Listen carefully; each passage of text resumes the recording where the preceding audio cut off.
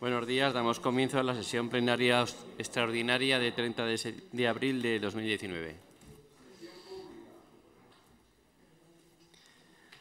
Punto único. Aprobación, si procede, del sorteo para determinar la composición de las mesas electorales de las próximas elecciones al Parlamento Europeo, a las Cortes de Aragón y locales. Señor secretario. Según la ley electoral, como saben, hay que proceder a un sorteo para designar a los componentes de las mesas electorales de las próximas elecciones del 26 de mayo. Bueno, pues una mano inocente.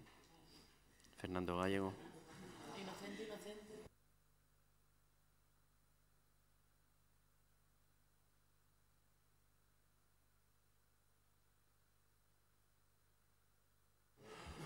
Número uno.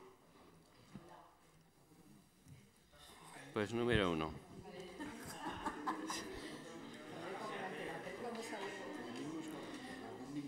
Bueno, pues se levanta la sesión.